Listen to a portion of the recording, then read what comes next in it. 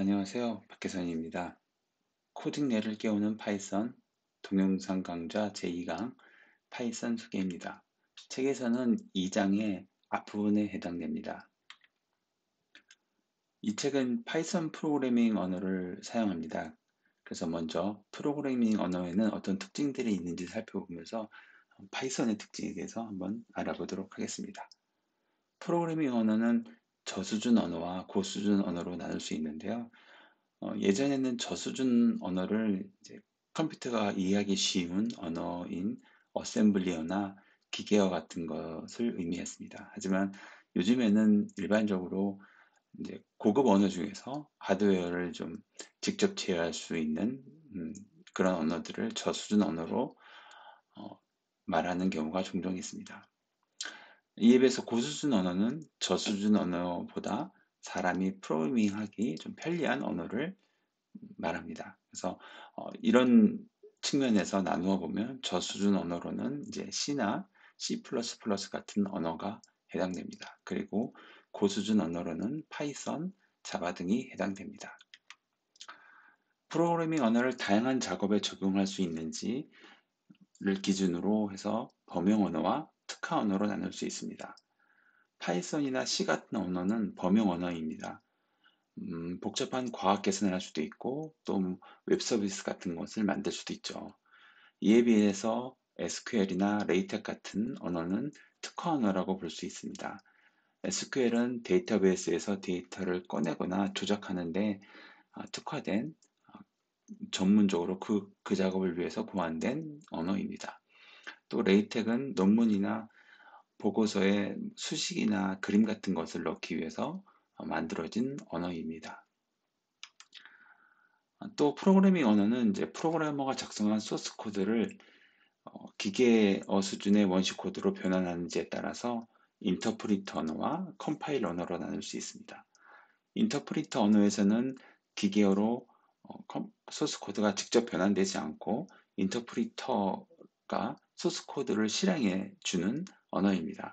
그래서 어, 일반적으로 에러를 찾거나 디버깅이 좀 편리한 어, 장점이 있습니다. 이에 비해서 컴파일 언어에서는 컴파일러가 소스 코드를 기계어로 변환한 다음에 운영체제에서 직접 실행되는 언어입니다. 그렇기 때문에 일반적으로 좀 더 빠르고 어, 작은 공간을 차지하는 프로그램을 만들 수 있습니다. 파이썬은 프리, 인터프리터 언어입니다. 또 PHP도 인터프리터 언어입니다.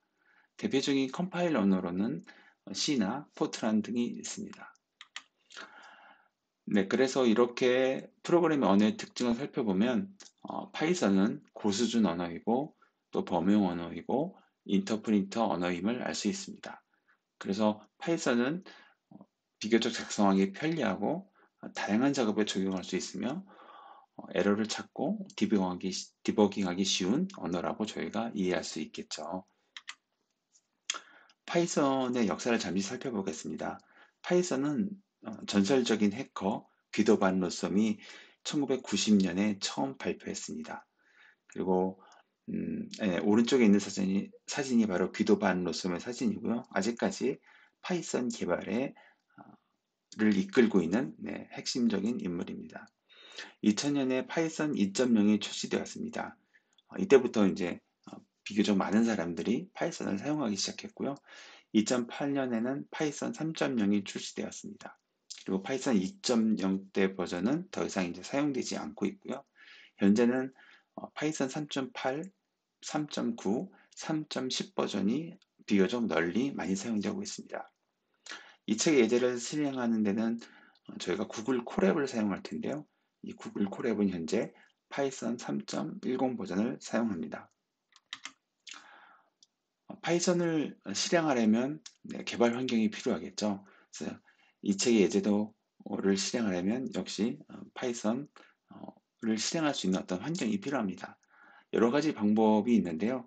가장 대표적인 것은 python.org에서 파이썬 공식 배포판을 다운받아서 컴퓨터에 설치하는 것입니다. 이게 음, 가장 기본적인 방법이겠죠. 또 다른 방법은 아나콘다 배포판을 사용하는 것입니다. 파이썬 공식 배포판 말고 여러 가지 배포판이 제공 어, 찾아볼 수 있는데요. 그 중에 어, 가장 유명하고 또 윈도우, 리눅스, 맥에서 모두 다 편리하게 사용할 수 있는 배포판이 바로 아나콘다입니다. 어, 또 기본적인 파이썬뿐만 아니라 어, 데이터 분석이나 머신러닝에 필요한 많은 패키지가 아나콘다의 기본으로 들어가 있습니다. 그래서 처음 파이썬을 배울 때 컴퓨터에 파이썬을 설치하고 싶다면 어, 일반적으로 아나콘다를 가장 많이 추천하고 있습니다.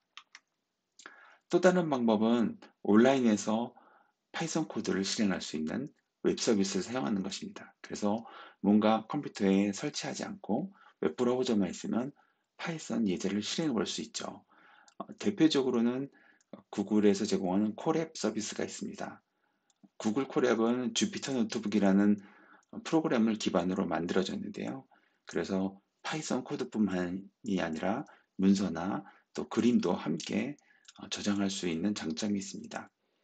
또 완전히 무료이기 때문에 구글 계정만 있으면 누구나 어, 사용할 수 있, 습니다 그래서 이 책의 예제 코드는 모두 어, 구글 콜앱을 사용하고요.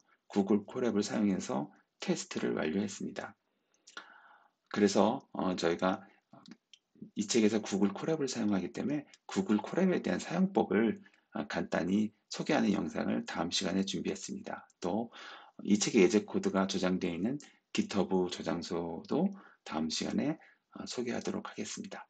네, 그럼 다음 시간에 다시 찾아뵙겠습니다. 지금까지 들어주셔서 감사합니다.